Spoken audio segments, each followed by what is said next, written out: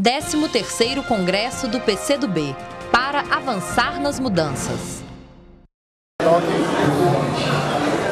nome é, sou Vanderlei, secretário de organização do Comitê Estadual do PCdoB no estado do Amapá e entendo que o 13º Congresso ele joga um papel assim, decisivo na minha militância.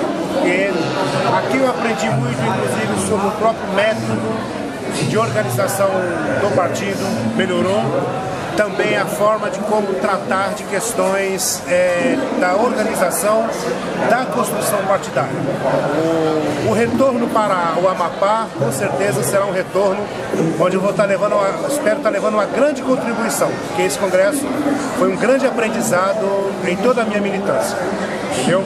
Saio daqui fortalecido e saio daqui também revigorado do ponto de vista ideológico político e muito mais ainda é, ganho para a, a ideia transformadora do PCdoB e do propósito do partido em ajudar a construir um grande projeto nacional de desenvolvimento que aproxime o Brasil da transição socialista. 13º Congresso do PCdoB, para avançar nas mudanças.